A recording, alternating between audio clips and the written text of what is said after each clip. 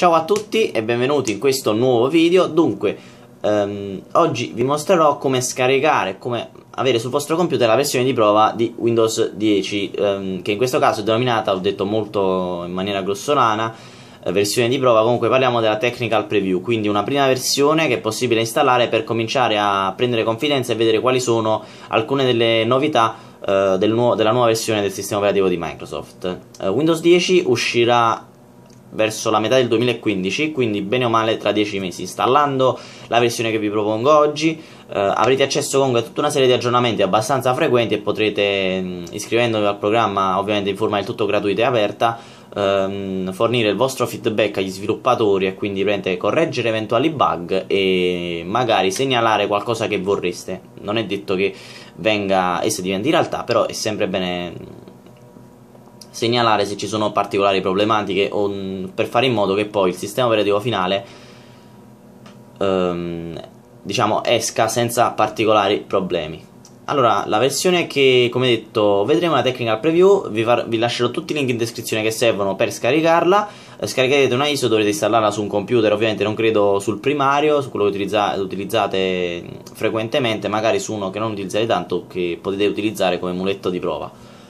Allora, vi lascio il link in descrizione di questa pagina che ci, poi ci farà iscrivere al programma e poi anche di quest'altro video che ci fa vedere appunto direttamente sul desktop alcune delle novità che potremo vedere in questa technical preview. Allora, quando andremo su questa pagina dovremo cliccare su per iniziare.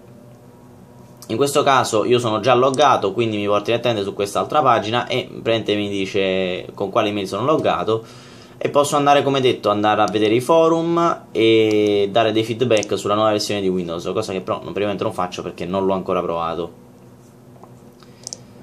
Quindi ci sono tutte, tutte, le pagine in italiano non avrete particolari problemi credo solo che i forum siano in inglese anche se in questo caso non credo comunque sia questa cosa insormontabile per la maggior parte delle persone.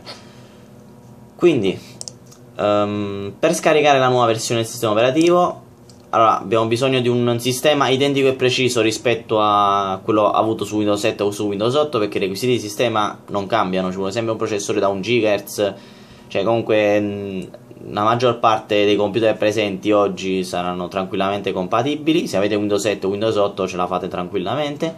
Comunque per installare questa versione dobbiamo cliccare dopo esserci loggati su Setup PC e mi uscirà congratulazioni sei un insider e andremo a cliccare install technical preview.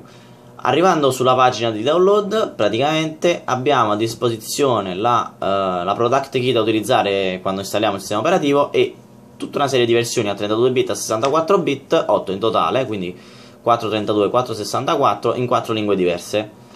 Quindi in inglese credo eh, americano non indicato niente poi c'è l'inglese variante Regno Unito il cinese e il portoghese. Semplicemente cliccando su scarica potremo scaricare la versione che ci serve. Mm, le dimensioni variano da 3 a 4 GB a seconda se abbiamo una versione a 32 bit o a 64 bit. Sotto abbiamo altri link che ci possono essere utili. E vabbè, ben, grosso modo questo credo sia tutto praticamente. Uh, abbiamo anche delle pagine dedicate al, uh, all'installazione essendo uh, un file ISO possiamo anche tranquillamente gestire l'installazione tramite disco oppure tramite hard disk esterno, pennetta USB come più vi aggrada, il metodo di installazione non cambia. Perfetto, detto questo credo di avervi detto tutto, um, in descrizione quindi ripeto trovate tutti i link che vi servono, dovete iscrivervi necessariamente al programma quindi vi lascerò il preview.microsoft.com e niente, eh, chiudo qui il video. Come al solito vi ricordo di lasciare un mi piace, di iscrivervi al canale se il video vi è piaciuto. Fate, fatemi sapere cosa ne pensate nei commenti. Io per il momento vi saluto e noi ci vediamo al prossimo video.